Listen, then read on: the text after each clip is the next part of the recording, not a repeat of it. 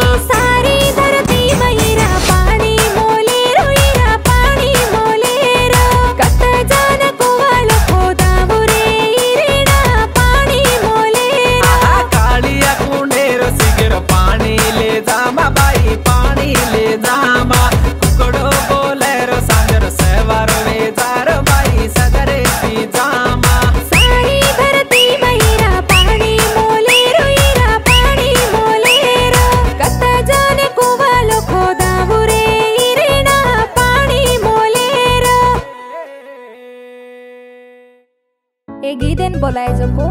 बाल ब्रह्मचारी मुलुगु पीठाधिपति किशन महाराज देवगिरी पटनम गीदेन बोले जोको doctor S P Nayak Suhasini